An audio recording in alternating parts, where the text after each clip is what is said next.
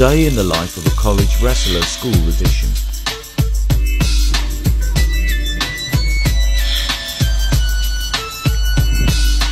One, two, three into the four. Snoop Doggy Dogg and Dr. Dre is at the door. Ready to make an entrance, so back on up. Cause you know we're about to rip oh, this. Give me the microphone first so I can bust like a bubble. Compton and Long Beach together, now you know you in trouble. Ain't nothing but a G thing, baby. Too low depth, looking over crazy.